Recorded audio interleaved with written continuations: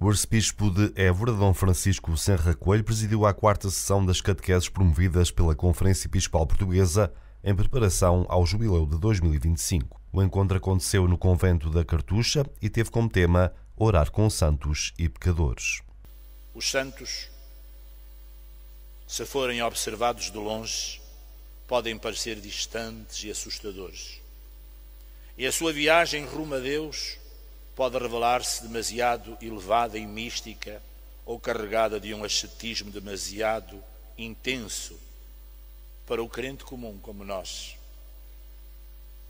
Contudo, embora as suas vidas sejam verdadeiramente heróicas e exemplares, os santos são as últimas pessoas a julgar com dureza as debilidades e os esforços humanos.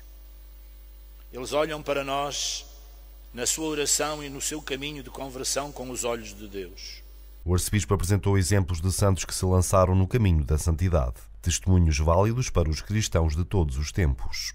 Alguém que no dia de hoje se encontra a lutar contra a debilidade e o fracasso, poderia ser levado a dizer: na verdade é surpreendente, mas há uma grande diferença entre a situação de Teresa de Lisieux, jovem santa que tinha passado toda a sua vida em clausura monástica, e a minha condição de infelicidade no cotidiano, no stress, no burnout da minha vida, mesmo que a minha consciência pesassem todos os pecados que se podem cometer, diz Teresa de Lisieux, lançar-me-ia de coração despedaçado pelo arrependimento nos braços de Jesus, pois sei como ele ama eternamente o filho pródigo que volta para si.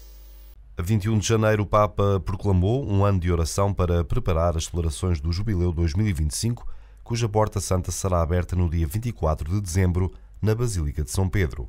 O Ano Santo vai coincidir com os 1700 anos do Concílio de Niceia e corresponder ao 27º Jubileu Ordinário da História da Igreja.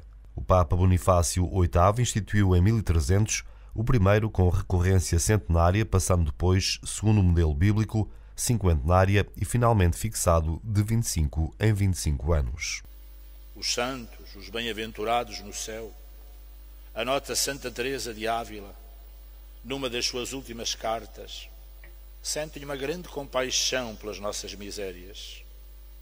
Lembram-se que, enquanto eram frágeis e mortais como nós, cometeram as mesmas faltas, travaram os mesmos combates, e passaram por momentos de peregrinação interior